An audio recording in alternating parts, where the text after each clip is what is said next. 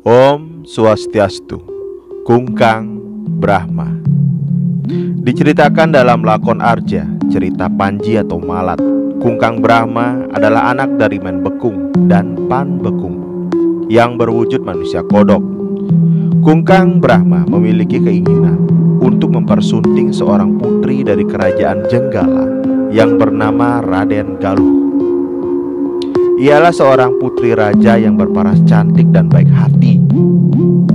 Kungkang Brahma pun membujuk orang tuanya untuk meminang sang putri dari kerajaan Jenggala tersebut untuk dipersunting menjadi istrinya. Orang tua Kungkang Brahma pun kebingungan dengan permintaan anaknya itu, di mana anaknya hanyalah seekor kodok. Hal ini tentunya akan menjadi petaka jika raja mengetahui niat Kungkang Brahma dan akan dianggap melecehkan garis keturunan raja.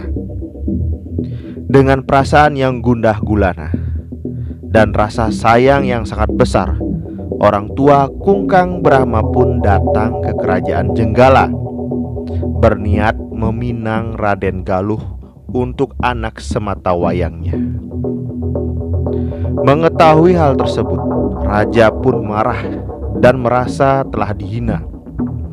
Dengan dilanda rasa amarah, raja membunuh orang tua Kungkang Brahma.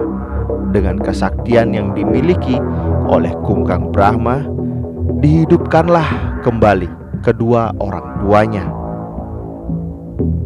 Mengetahui keajaiban itu, raja pun menjadi geram lalu membunuh Kungkang Brahma dan membuang potongan tubuh Kungkang Brahma ke empat penjuru mata angin.